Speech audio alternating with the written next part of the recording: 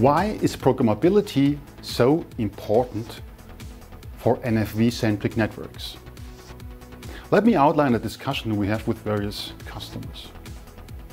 As communication service providers roll out a virtual CPE use case and start to replace dedicated hardware functions like routers by software appliances running from a central server, there is some inefficiency introduced in the network.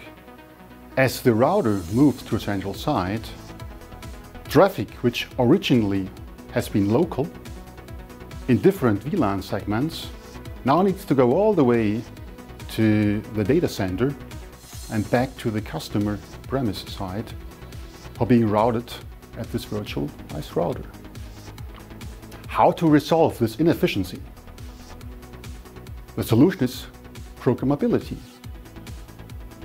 By implementing this function in a simplistic demarcation device, we provide a means to program a forwarding table by an open interface like OpenFlow from a central instance which allows the simple demarcation device to forward traffic locally and keep those VLAN segments connected without a need of routing and, going through a centralized server, hence resolving the issue just explained of bandwidth inefficiency by virtualizing routers.